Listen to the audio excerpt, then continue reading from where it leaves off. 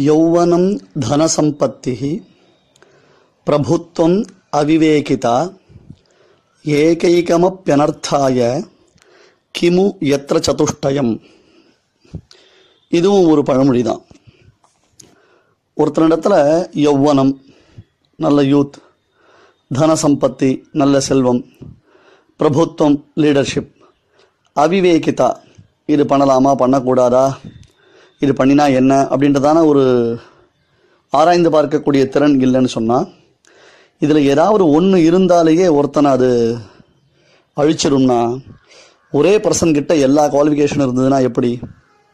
அது ரொம்ப ரிஸ்க் இல்லையா? அந்த மாதிரி நமக்கு இருக்கும் பொழுது இதிலிருந்து நாம் எப்படி தப்பிக்கிறது? நமக்கு ஒரு ஹிதமான ஒரு காரியத்தில் நாம் எப்படி ஈடுபடுறது? அதுக்கு ஏதாவது வழி இருக்கா அப்படின்னு கேட்டால் இன்னொரு வாக்கியத்தினால இந்த கேள்விக்கு நம்ம விரிவாக பதில் சொல்கிறோம் அபிவாதனசீலஸ்ய நித்தியம் விருத்தோபசேவினா சத்வாரி தஸ்ய வர்த்தந்தே ஆயுகு வித்யா யசோ பலம். இப்போல்லாம் ஒரு ரொம்ப மோசமான ஒரு கலாச்சாரம் என்ன தெரியுமா? பெரியவாளை பார்த்து சேவிக்கிற வழக்கமே ஒட்டு போச்சு ஒரு பெரியவாளை பார்த்த உடனே நெடுஞ்சான்கடையாக சேவிக்கணும். ஆனால் அதில் ஒரு சின்ன சூக்ஷம் இருக்குது கோவில்களில் சேவிக்கூடாதுன்னு ஏன் சொல்லி வச்சிருக்கா தெரியுமா? நம்ம கோவிலில் சேவிக்கும் பொழுது பின்னாடி யார் வரா? எந்த பிரிவா வரா? இல்லை பின்னாடி ஏதாவது சன்னதிகள் இருக்கா? இதை கவனிக்காமல் டவான்னு காலை நீட்டி விடுவோம். சி ஒருத்தரை சேவிக்க போகச்சே அந்த ஒருத்தரை சேவிக்கிறதுனால நமக்கு ஏற்படக்கூடிய பலனை விட ஏடா கூடமாக சேவிக்கிறதுனால அபச்சாரம் அதிகமாக போய்டுறது. புரியுறதா உங்களுக்கு? அதனால தான் கோவிலில் சேவிக்க வாண்டான்னு ரெஸ்ட்ரிக்ட் பண்ணி வச்சா. அதை புரிஞ்சுக்கிறதே இல்லை நம்ம. மடங்களில் போகிறோம் இல்லை பெரியவாளை போய் சேவிக்கச்சு அவளை பார்த்து சேவிக்கிறோன்றதான உணர்ச்சி வசப்பட்டு பின்னாடி சன்னதி இருக்கும். அந்த சன்னதிக்கு நேராக காலை நீட்டுவோம். அங்கே ஒரு சுவாமி யாரன போயின்னு இருப்பார் அவருக்கு நேராக கால் நீட்டுவோம். இப்போ பாருங்களேன் இப்போ ஐஷங்கர் ஆண்டவன்லாம் சேவிக்கச்சு என்ன பண்ணுறான்னா அவருக்கு முன்னாடி வந்து விழுந்து புத்து புத்து விழுந்து ஈன் இடிச்சாதான் தங்களுக்கு சேவை நினச்சிட்டு இருக்கா. உண்மையிலே நான் என்னுடைய ப்ராக்டிஸ்லாம் சொல்கிறேன் அதை நீங்களாம் எப்படி எடுத்து போயிடலாம் எனக்கு தெரியாது. இப்போ ஐஷங்கர்லாம் போய் சேவிக்கிறோன்னா முதல்ல அந்த சபைக்குள்ளே வர சேவை எந்த மண்டபத்தில் இருக்காளோ அங்கே விழுந்து சேவிச்சாலேயே போகிறோம் எதிர வந்து தொப்பு தொப்புன்னு தான் விழணும். ஈன நீ சேவிக்கிறியா? அப்படின்னு அவர் பார்க்கணுன்றதான அவசியமே கிடையாது. அது ஏன் புரிஞ்சுக்கிறது இல்லை ஒரு இரிட்டேஷனான ஒரு காரியத்தை நம்ம பண்ணுறோம் சேவிக்காமல் இருக்கிறது ஒரு தப்புன்னு சொன்னால் இந்த மாதிரி ஏடாகுடமாக சேவிக்கிறது அதை விட ஒரு பெரிய தப்பு. இன்ஃபேக்ட் இப்போ நாளைக்கு அதுதான் நடக்க போகிறது அந்த ஒரு என்ன ஒரு எத்திக்ஸ்ன்னு சொல்கிறோம் இல்லையா? ஒரு ஒரு டிசிப்ளின் கிடையாது வராது. ஆக்சுவலி இது தெரியாததுனால அதாவது பெருசாக நாங்கள் பெரிய பெரிய விஷயங்கள்லாம் தெரிஞ்சுட்டோம் நம்ம சொல்கிறோமே தவிர அடிப்படையான இந்த விஷயங்களை தெரிஞ்சுக்கிறதில்ல. பெரியவா எங்கே இருந்தாலும் அதே மாதிரி தான் கோவிலில் பெருமாளை அழைச்சே இப்போ காஞ்சிபுரத்துலாம் வந்து பார்த்தேன்னா தெருக்கோடியில் பெருமாளை அழைச்சே இங்கே ஆற்று வாசலில் விழுந்து சேவிப்பா. பெருமாள் வரைச்சா தான் தொப்புன்னு முன்னாடி வேணும்னு அவசியம் இல்லை. போகிற வரவாளை காலை தடிக்கிண்டு அந்த ஸ்ரீபாந்தாங்கி காலை தடிக்கிண்டு பாராயணக்காரால் நிற்க வச்சுட்டு அப்படி தான் சேவிக்கணும் அவசியம் இல்லை. அவள் காரியத்தை அவள் பார்த்துட்டு இருக்கா நாம் சேவிக்கணும். ஆனால் சேவிப்பது எவ்வளவு முக்கியமோ அதே அளவிற்கு முக்கியம் நாம் சேவிக்கும் பொழுது மற்ற இடங்களில் அபச்சாரம் நேரிடாமல் பார்த்துக்கொள்வது இது ரொம்ப ரொம்ப ரொம்ப ரொம்ப ரொம்ப முக்கியம். இது ப்ராக்டிஸில் வரவே மாட்டேன்றது. யோ அப்போ அபிவாதன சீலஸ்ய அந்த மாதிரி விழுந்து நம்ம சாஷ்டாங்கமாக புருஷர்கள் சாஷ்டாங்க நமஸ்காரம். ஸ்திரீகள்னா பஞ்சாங்க நமஸ்காரம். ஐந்து அவயவங்கள் மட்டும்தான் படணும். ஸ்திரீகள் நெடுஞ்சான் கிடையாக சேவிக்கூடாது. புருஷர்கள் நெடுஞ்சான் கிடையாகத்தான் சேவிக்கணும். அபிவாதன சீலஸ்ய நானே அடிக்கடி சொல்லியிருக்கேன். இப்போ சில பேர் சேவிக்கிறத பார்த்தா ஏண்டான் இருக்கு. சேவிக்க தெரியல.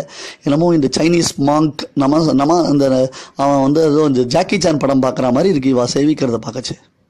நன்னா இல்லை.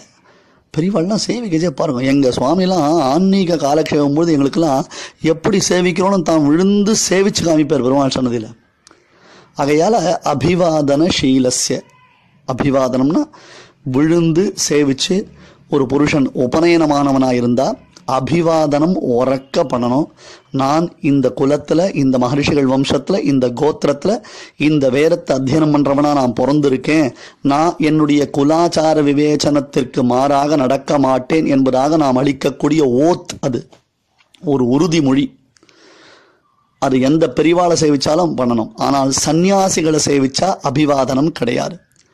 பெண்களில் தன் தாயாரை தவிர்த்து மற்றவர்களை சேவித்தால் அபிவாதனம் கிடையாது. தாயாருக்கு மட்டும் அபிவாதனம் பண்ணணும் அது அவ்வளோ சக்தி அதே போன்று கோஷ்டிய ஒரு ரெண்டு சுவாமிகள் மூணு சுவாமிகள் சேர்ந்து இருக்குந்தானா அதுக்கு பேர் கோஷ்டி.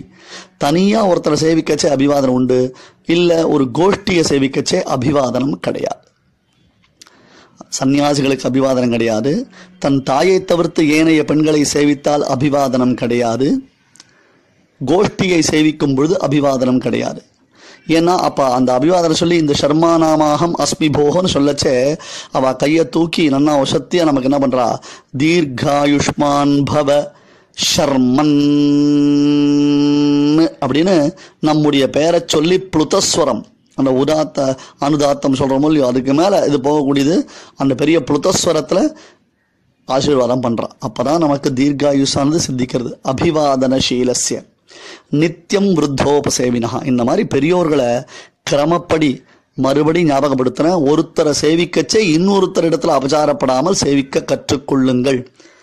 ஆச்சாரியின் முன்னாடி போய் புத்து புத்துன்னு விழுந்தாதான் சேவைன்னு அர்த்தம் இல்லை ஒரு காலக்ஷேபமும் உபன்யாசமும் நடக்கச்சே மொத்த பேரையும் தள்ளிண்டி வா. முன்னாடி வந்து உட்காந்து முன்னாடி வந்து அதுவும் வருது லேட்டு. முன்னாடி வந்து சேவிச்சுட்டு தான் உட்காரணும்னா அந்த கோஷ்டி வாசலை அந்த மண்டபத்து வாசல்ல சேவிச்சுட்டு வந்து உட்காரலாம் ஒரு ஒருத்தரை ப்ளீஸ் பண்ணுறதுக்கு பத்து பேர்கிட்ட நாம் அபச்சாரப்படுறோம். இதெல்லாம் தான் பேசிக் பிரின்சிபல்ஸ் இதெல்லாம் தான் நிச்சயமாக நாம் தெரிஞ்சுக்க வேண்டியது. நாம் சேவிக்கிறது நமக்கு ஆத்மார்த்தமையை தவிர்த்து நாம் சேவிக்கணும் சேவிக்கிறத அவள் பார்க்கணுன்ற நெசசிட்டியே இல்லை. அதை தெரிஞ்சுக்கோங்க முதல்ல. அவ செய்கிறான் சேவிக்கணும். ஆ பத்தியா இவன் சேவிக்கிறான் பத்தியா? அவள் சந்தோஷம் இது அவசியமே இல்லை உங்களுக்கு. தனியாக ஏகாந்தமாக இருக்கச்ச நன்னா விழுந்து நீண்டு நெடுஞ்சான் கிடையாக உருண்டு பிறண்டு எப்படி வேணால் சேவிங்களேன். ஒரு உபன்யாசம் நடந்தே இருக்கும். அது பத்து நிமிஷம் இருபது நிமிஷம் ஆயிட்டு இருக்கும். இவ வரதே லேட்டு மொத்த பெரிய இடிச்சு தள்ளிண்டாவா தொட மேல கால் மேல ஏறி உட்காந்து தோல்ல த தோளிலை மேலும் நான் மார்பில் மேலும் எகிரி குறிச்சுன்னு வந்து முன்னாடி வந்து அதுக்கு அப்புறம் நீளுவா. அப்பதான் சேவிப்பா. அதாவது அவளுடைய அந்த ஸ்ரத்தையை நாம மெச்சிக்கணுமா? இது எவ்வளவு பெரிய அபச்சாரம் தெரியுமா? நான் இதெல்லாம் சொல்கிறேன் தப்பாக நினச்சிக்காதீங்க. ஏன்னா இந்த வழக்கங்கள்லாம் நம்ம ரொம்ப ஏடாகுடம் பண்ணிட்டு இருக்கோம் இந்த சம்பிரதாயத்தின் பேரில் நாம் பண்ணக்கூடியதான ஏடாகுடங்களுக்கு கணக்கே இல்லை.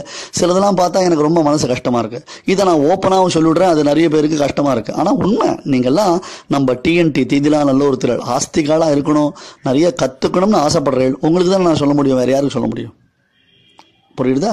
அதனால அபிவாதனசீலசிய நித்தியம் விருத்தோபசேவினா சத்வாரி தஸ்ய வர்த்தந்தே. இந்த மாதிரி ஸ்ரத்தையாட ஒருவன் நன்கு சேவித்தானேயானால் அது பெண்களுக்கும் உபலட்சணம் தான் பெண்களுக்கு அபிவாதம் கிடையாது. எங்களுக்கு ஏன் கிடையாது நினச்சிக்காதீங்க. ஸ்திரீகளுக்கு எதுவுமே தனியான தர்மங்கள் கிடையாது. வாண்டான்னு வச்சுட்டா வாண்டாம்.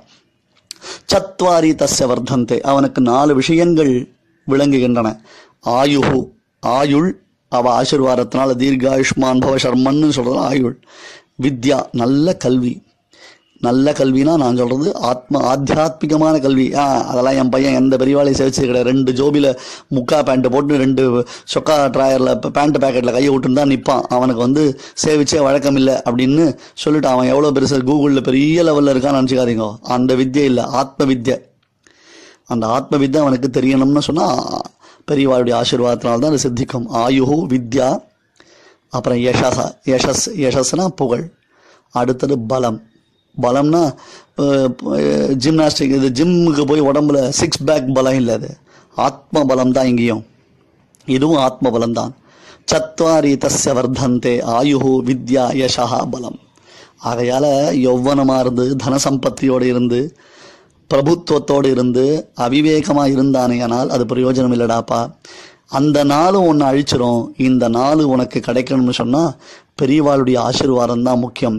அந்த ஆசீர்வாதம் நமக்கு என்றைக்கும் எப்பொழுதும் எல்லோருக்கும் எல்லா நிலைகளிலும் கிடைக்கட்டும்னு பிரார்த்திச்சுண்டு எல்லா பெரியவாளிடத்துலையும் நாம் வினயத்தோடு இருக்கணும். எந்த பெரியவாழ்கிட்டையும் அபச்சாரப்படக்கூடாது. சம்பிரதாயத்தைச் சேர்ந்த எல்லா பெரியவாளும் நமக்கு பூஜனீயர்கள் தான். அவர்கள் எல்லோரும் மகனீயர்கள் தான். இந்த சம்பிரதாயத்தை வளர்க்கக்கூடியவா. அவா எங்கே பார்த்தாலும் நாம் அவளை விழுந்து சேவித்து நாம் நம்முடைய ஆத்ம பலத்தை வளர்த்துக்கணும். ஸ்ரீமதே ராமானுஜாய நமஹா ஸ்ரீமதே நிகமாந்த மகாதேசிகாய நமஹா.